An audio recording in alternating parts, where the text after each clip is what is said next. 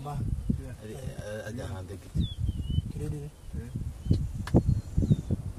Ibu sama rata sama